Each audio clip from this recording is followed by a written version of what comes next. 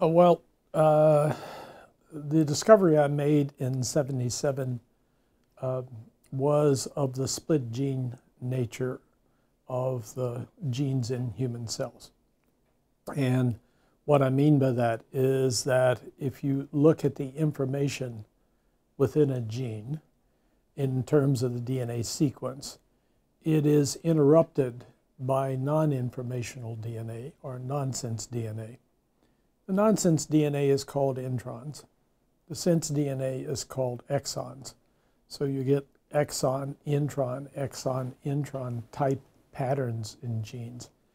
And they have to remove the nonsense for the gene to work, the cell does.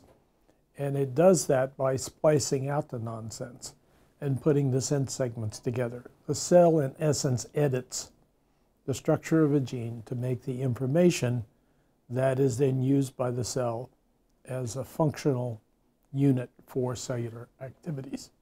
So we discovered that in, 50, in 1977 in Cold Spring Harbor uh, in parallel and independently made a similar discovery.